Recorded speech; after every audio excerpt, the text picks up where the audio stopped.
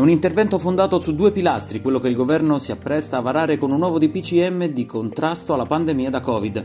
Da una parte un mini lockdown su base nazionale, valido per tutti, dall'altra interventi condivisi più restrittivi e dinamici per le regioni che presentano livelli di rischio più alti. Tra le misure nazionali il governo propone il divieto di circolazione nella fascia serale, non ci si potrà spostare tra regioni che hanno dati epidemiologici classificati a rischio alto o molto alto, sarà possibile l'aumento della didattica a distanza al 100% per le superiori e il tasso di riempimento del trasporto pubblico locale non potrà superare il 50%.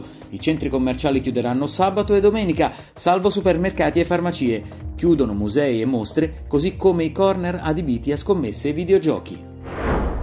E ancora scontro tra governo e regioni sulle misure da adottare per il contrasto al coronavirus. L'esecutivo illustra agli enti locali il DPCM e deve vedersela con la protesta di De Luca, Zaia e Fontana, i quali da un lato chiedono che i lockdown territoriali siano condivisi dal governo e che il blocco della circolazione valga per tutti, dall'altra esigono automatismi sui ristori. Ma non sono solo i governatori ad alzare la voce. In Parlamento il Premier Conte incontra l'opposizione aperta di Fratelli d'Italia, Lega e Forza Italia, i quali accusano l'esecutivo di errori e ritardi.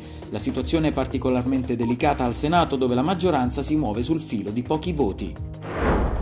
Anche la politica e le istituzioni piangono Gigi Proietti. Per Sergio Mattarella l'attore era l'espressione genuina dello spirito romanesco, nonché maestro di generazioni di attori.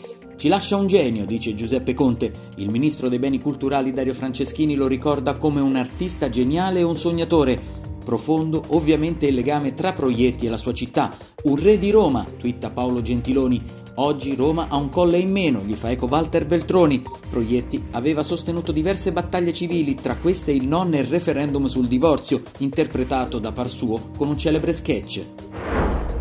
Si è spento questa mattina a 91 anni in provincia di Varese padre Bartolomeo Sorge, teologo e politologo, era noto come il gesuita che la mafia voleva uccidere.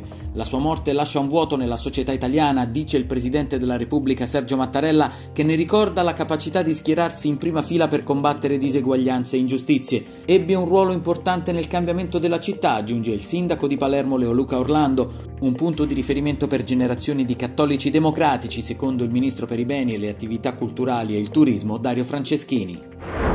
Per tutte le notizie consultate il sito dire.it.